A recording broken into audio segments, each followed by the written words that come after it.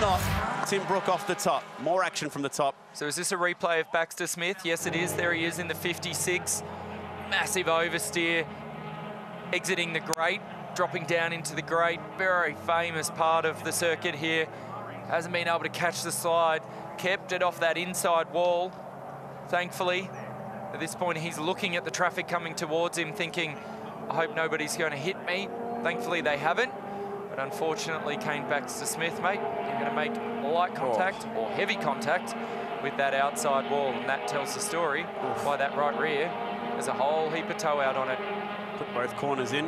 What an amazing spot this is for a camera this weekend. It'll capture some pretty amazing images, and that's the first of many. And that could have been so much worse. Jeez, he was unlucky. Looked like he was going to get away with that. Just dragged the front of the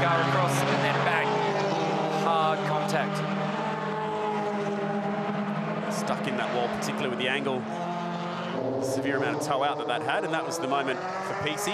Ah, so the damage there, what we were trying to work out was, did he make light